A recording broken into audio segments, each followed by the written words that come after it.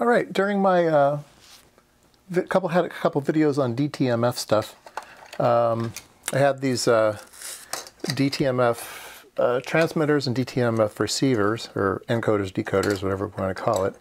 And uh, I was very impressed with a particular IC on this one. And it was this little 8-pin guy here.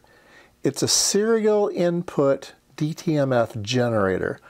All you need is the chip and a crystal and you're ready to go. You can just talk to it serially and it outputs DTMF tones. And I thought that was just the coolest thing ever. So uh, I, I, looked around to see if I could buy those chips and you can. And in fact, uh, I bought 10 of them for $1.88. So 18 cents each plus a dollar shipping. So a buck 88 plus a dollar. I got 10 little parts. now this is how they came in a little clear bag with, uh, you know, all bent up leads. No, I mean, the leads are okay. Little gull wing parts, they're okay. But they are tiny, so what do you do with these little tiny surface mount parts? Well, get yourself some adapter boards. I have a, I have a tray here with some adapter boards. You can get different adapter boards on, uh, on eBay and other places. Uh, let me show you a couple I have. Um, see, is that zoomed in all the way? Yeah. So here's a little adapter board to make your own SIP. Uh, you can put different value capacitors or resistors and, and uh, make a little SIP package. That, that's, those are valuable. Um, here I have uh, some little tiny boards for a particular type of packet. I'm not even sure what kind of package that is. Oh, look on the back side. Ah, so this is a double, double, uh, double board. One type of package on this side and one type of package on this side. And I, and I think, get that out of there. I think this is exactly the one that I need, so I'll put, I'll put it over here. Let's see what else I got. Um, these are dirt cheap. I bought a bunch once. Uh, yeah, here's a little bit of SO16 on this side and a TSSOP on this side. That's pretty cool. And I just have some miscellaneous things. Oh, here's we go. Here's another one down here. Uh, this one is super tiny. This is like a SOT 23 uh, dash 6, a 6 pin uh, SOT 23. That's pretty tiny. Uh, this is one that I made, my design. And here's one that just does SOT 23s. So yeah, you get all kinds of little adapter boards. And so we'll be using uh, using this one. I only need two of them, so let me break this in half. Um, I'm gonna make I'll make two of them. So there we go. Uh, this should be able to use this over here. So let's pull two of these out. Keep everything on camera here. So here's one. There's two. All right. Close up our bags, it'd be easy to lose. Oh yeah, what's the part number of these things? Uh, shoot don't darn part number now. They are uh, HT9200As. Um, and this should be the right, yeah, this is, should be the right ones. So where's pin one here? Pin one is, oh, there, there we go, pin one's marked there. So we will put them on, put them on, let's see. That goes over here to pin eight. So pin one, oh yeah, these are these are laid out funny. You have to be really you have to be really worried about this. So, so even though the pin, um, I'm not on camera again, darn it. Um, so if you let me, let me start over. so this is the uh, surface mount part, and then this is going to be the new dip part, right? And so here's pin one. It's a square hole. But if you look at the routing, pin 1 routes over to this pin here. So this is pin 1 of the SOT part. This is pin 1 of the dip part. So you have to be uh, really careful about how you put this on. So it goes on like that. So, so even though this is pin 1, the dot is going to be over uh, closer to this pin. Uh, so just kind of be kind of be aware of that. And uh, yeah, let me find some solder paste and uh, get these going.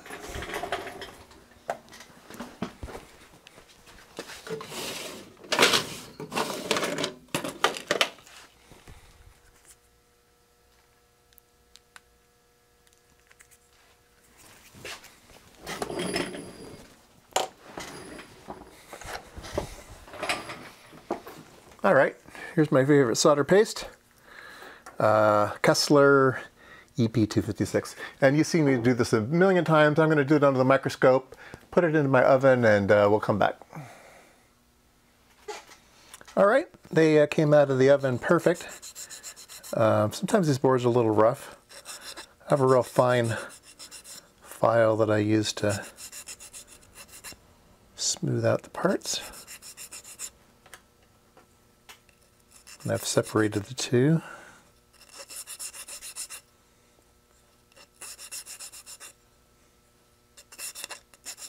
All right, so now I'm going to put the pins in. Now here's a trick. Um, in order to get the part on there nice and straight, I use a proto board to hold everything together while I do the soldering. So I'll just stick these on here. Oops. Put the little guy on top.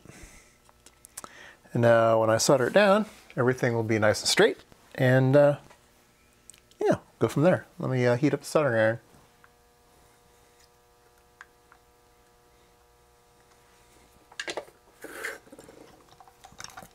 All right, there we go. Perfect.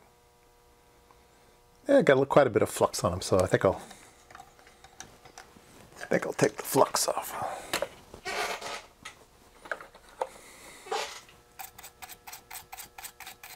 Using some some ethanol, make them look pretty. Why not? If I'm going to be staring at them, I want them to look pretty. All right.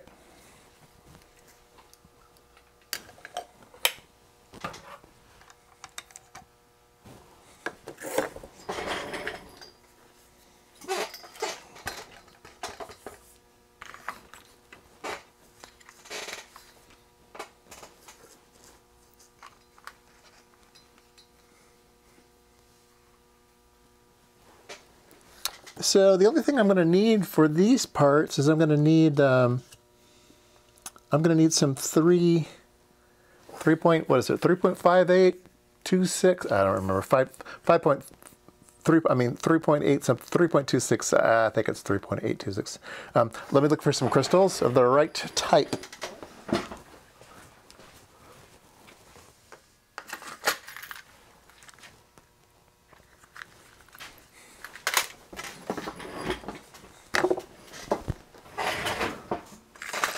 one would think I would have such a thing.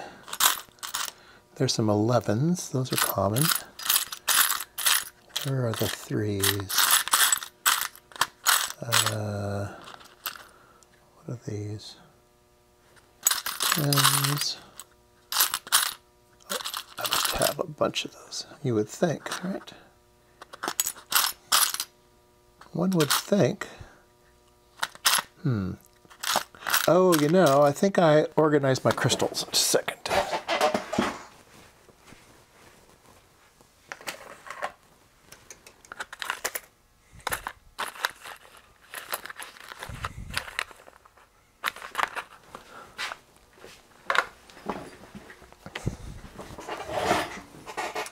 Well, last time I was looking for crystals, I organized them and I put all 8 megahertz crystals in this bag and this bag has anything between 3 and 4 megahertz, so we should be able to find it in here.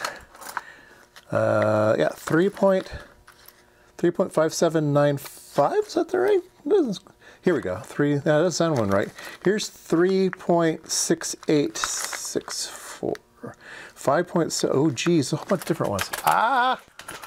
I guess I need to find the right one, which is I need a 3.579. Okay, I did. I saw one of those in here. There's right one right there. I'll grab that one.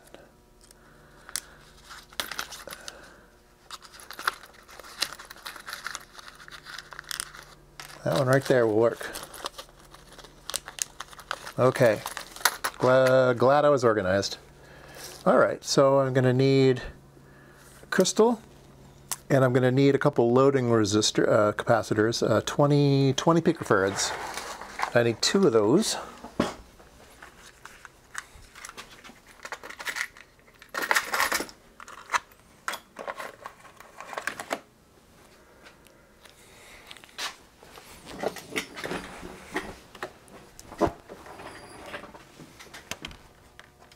Now remember, I bought some crystals for Arduino projects. Here's my Arduino box.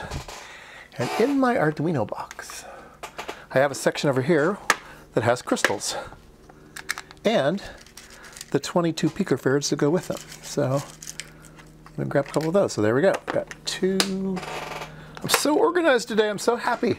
It's nice when you have a a setup and you've spent the time to organize it. You know where things are. You can just grab them. You don't have to hunt for them. So uh, yes, that's good news. All right. So now I have a uh, a crystal and I have two loading capacitors and uh, I think I'll put this on a board. Uh, I don't think I want to put this on a proto board. I'm going to actually solder this to a uh, to a to an actual board. Do I want to have it big and fancy or small? Hmm. Hmm. Probably big and fancy. Because I'm probably going to want an Arduino with a display and everything on it too. So I think I'll get a different proto board.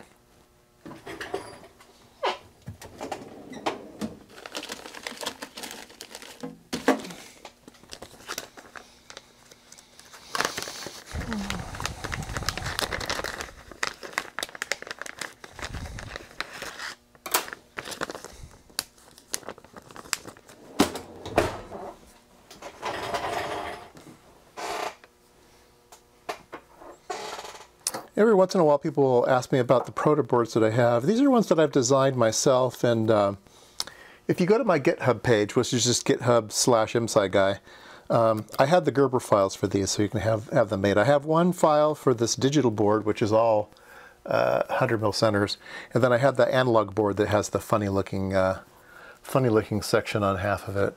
Um, so yeah, so if you want to make your own, the Gerber files are there. Feel free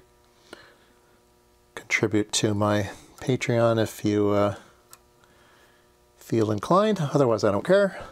Go ahead and steal them. It's not stealing. I'm giving them away. Um, I have quite a few patrons now. Thank you, guys. All right. Not nearly enough, though. All right. Um, let's hook these up and I will find a Arduino to use too and a display. I have some right here. What if I just should use those? I have a whole bunch of these things, so might as well.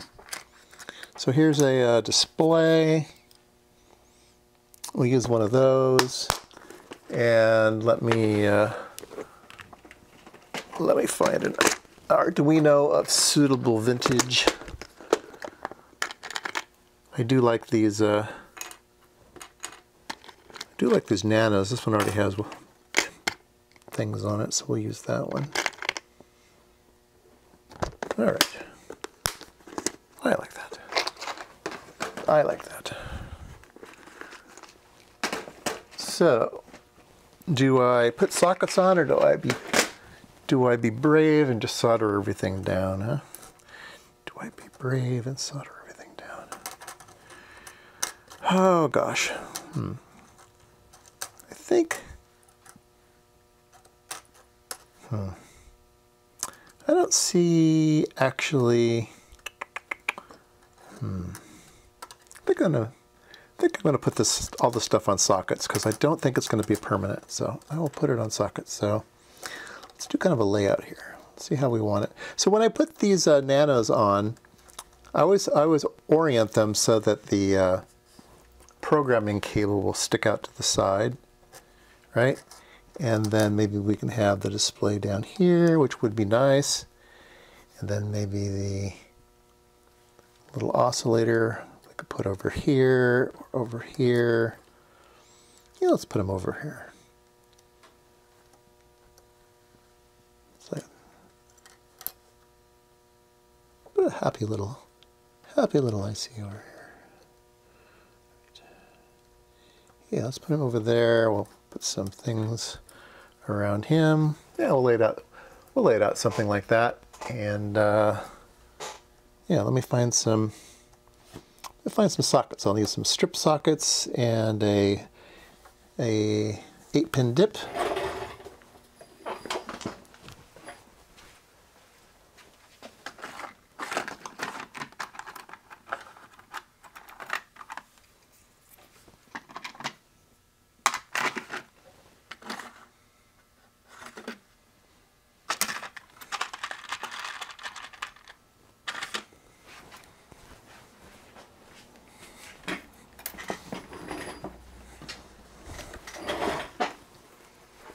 All right, we will cut these to size.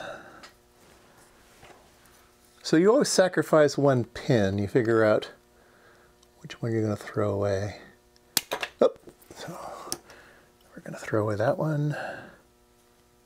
And we will throw away that one there. All right. So now we can put that over here. We have our 8-pin socket for that. And our little leftover here we can use for our display, so perfect. All right, let me uh, start wiring this up and uh, come back. All right, there we go.